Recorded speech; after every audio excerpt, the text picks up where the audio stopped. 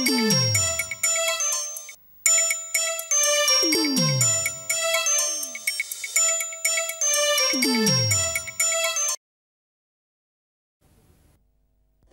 season of Girl Talk is proudly sponsored by Highway Vision. With digital camera editing, small production, and format transfers, let Highway Vision put you in the picture.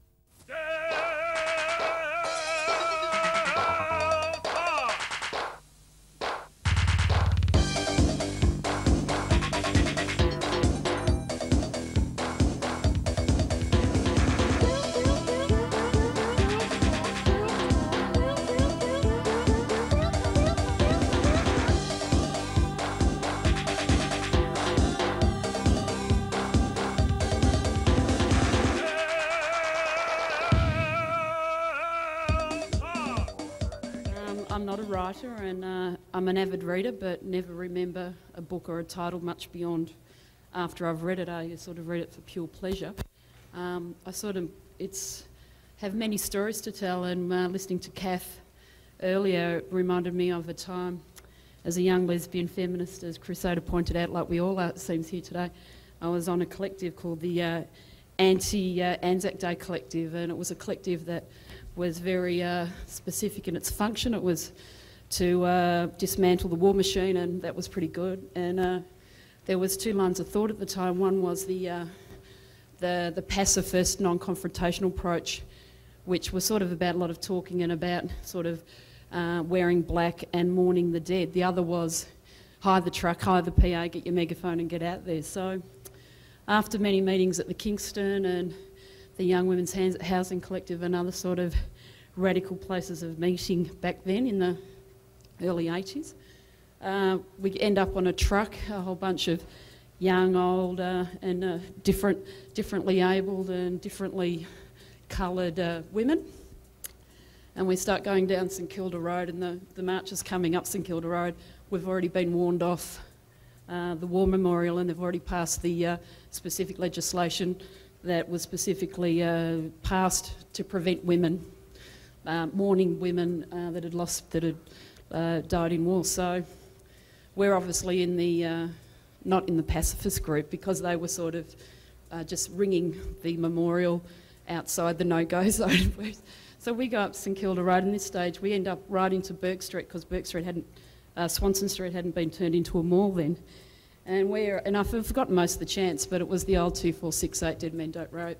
Um, the don't, don't be too polite, girls, don't be too polite. Uh, you know, it will keep up rah, rah, rah. Anyway, for anyone who knows, I think it was Bell Lane and my turn on the back of the truck, and we were fairly young and youthful at the time. And a guy gets up on the back of the truck, unbeknownst to us, and we're going rah, rah, rah. I said, I've forgotten all the chants, but um, within a couple of minutes, he's unscrewed his leg and he's thrown it at us. And so we're here with this leg, and he's doing that, you're too ugly to get, he'd want to rape you anyway. And I'm standing there with this leg in um, Swanston Street, and I just said, You haven't got a leg to stand on. and I just, and I said, my, It was really one of those things where, and it was, oh my God, and you know, they, uh, it made the age, the Tanberg, so, you know, as a young um, woman, you know, who was sort of exploring all things politically correct, but all things real. It was one of those things that it was a it was a very it's a story that stayed with me about what line you tread. So and that in fact sometimes it's not about a line you tread, but I suppose more about what you do. Being involved in Midsumma was the change from joining, I suppose, a coalition group from having previously being really active in a feminist, lesbian, and back then you even defined your socialist or radical nature. So coming from a social lesbian feminist collect- collective background to gay coalition politics, and now 10 years later, you know, defining uh, inclusive language like transgender, bisexual, uh, and everything that is non straight. It's been an interesting journey and one that I haven't documented anywhere. And uh, at times, I think particularly with the work I've done, not just with Midsumma and also, but with all the groups that we worked with when we were in the Caviar Club raising money for good causes because, you know, all property was theft and, you know, we just thought we loved running dance parties and thought we needed to give the money away. Um, it's, it's been interesting to go from, as a young woman, organising dances where we had childcare and uh, you know paid our security $15 cash in hand to 12 years later not having childcare and now being able to pay security $12 cash in hand. So it's, it's you know, it's, it's, uh, it's an interesting um, environment to work in and to be active in. And I still feel really committed to a number of causes, but I suppose, uh, you know, I think with, um, as you get older, you do tend to get more selfish and you just hope that those universities are doing something right and training the next breed of uh, radical dissidents. But I still think that with um, New Age and people thinking that they can meditate and change the world from within, that there's a lot of, uh, there's very little group action these days. And I really hope that uh, some of the people here, uh, you know, and maybe some people that have come to the readings and actually uh, are consumers of Midsumma and consumers of gay and lesbian culture do remember that there's a difference between uh, reading, listening, and I suppose being a passive consumer to actually being an activist. I thought I might do a bit of a visioning exercise. And is six minutes like, like we're supposed to go off at six minutes? Start now. it's 2020. No, it's 2020. Australia is a great place in which to live. It was touch and go there for a while in the early part of the new millennium, but Australians came to realise their senses and banished John Howard to the opposition benches at the first national election in 2001. Thankfully, the Conservatives haven't seen the inside of the Cabinet room ever since, and they aren't likely to. Australia is enjoying a never before seen degree of national prosperity, and we also, we're also regarded as the most socially progressive country in the world. Australians enjoy high living standards, quality living environments, as well as a protected environment and unrivaled opportunity. We've also taken our place internationally and have been instrumental in leading other countries down the track of creating communities that are inclusive, tolerant, and fantastic places in which to live. This is due in part to the defection of a former leader of the Australian Democrats to Labor. Only this time it was much more successful than her predecessor, Cheryl Kernot's earlier attempt. After only one year on the Labor front bench, Natasha Stott Despoja became Prime Minister. And she served in that role for 15 years. 15 years of unfettered social progress, economic growth, and environmental protection.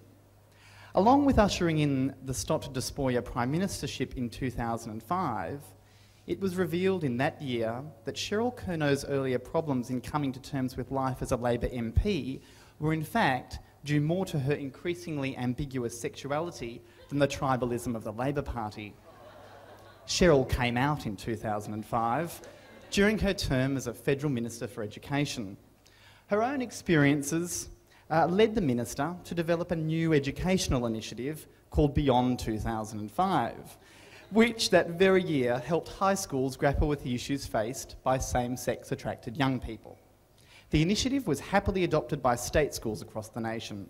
Catholic and independent schools took the minister to the High Court, but the entire court ruled in favour of the government, and the Catholic Church handed all of its schools back over to the states as a result. The program is highly successful due in part to the fact that the teaching profession is staffed by large numbers of baby boomers, a term used to describe individuals born to gays and lesbians in the 1990s. Prime Minister Stott Despoja has since built on Kernot's work as Minister for Education with a pledge in her 2015 State of the Nation address that no Australian child will live in fear of coming out. Natasha was equally committed to overcoming poverty among young and old Australians alike and recognised that education was the key to national and personal prosperity. She subsequently made education at all levels, including tertiary education, free. Completely abandoning the higher education contribution scheme, Natasha's government reimbursed people who attended university in the 80s and 90s, paying them their HECS fees with interest. I donated half of my proceeds to my former school, who have built their new state of the art creative arts building called the O'Reilly Centre. The other half I donated to Burkina Faso, where it helped retire a third of that nation's debt.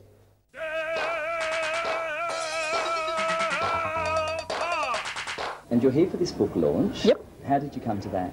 Well, it was very generous of Erin Shale, the editor of the book, to ask me to launch it. Uh, she asked me to write a little paragraph for the uh, for the cover, and uh, then asked me to come and launch it. And I thought it was going to be this, you know, a little sort of book launch, because I've done a few book launches in my time, but I've never seen an audience this big um, or this noisy. It's wonderful.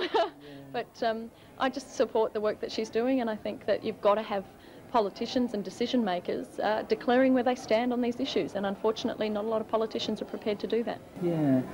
Can you tell me some of the, the stories in the book that have moved you in particular? You mentioned some of them during the speech. I think most of them are moving either in an inspirational way or because of their courage, even their sadness. I think the most moving, as in you will re be reduced to tears, no question, is Joy Anderson's chapter. It's the final chapter of the book and it's about her son James and uh, the fact that he killed himself and from a mother. I mean, it's so, it, it's very moving and it's insightful too.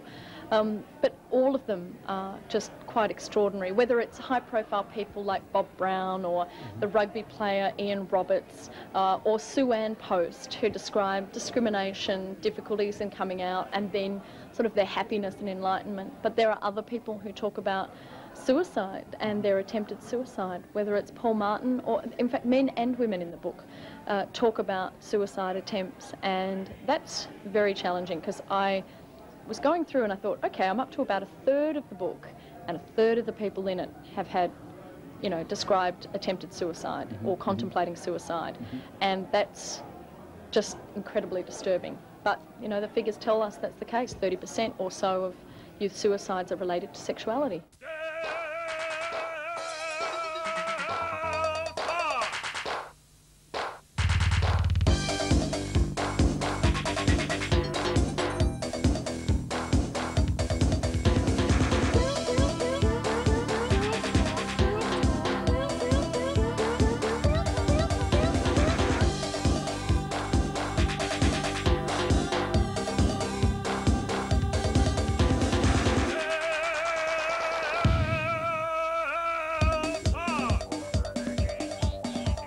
This season of Girl Talk is proudly sponsored by Highway Vision. With digital camera editing, small production, and format transfers, let Highway Vision put you in the picture.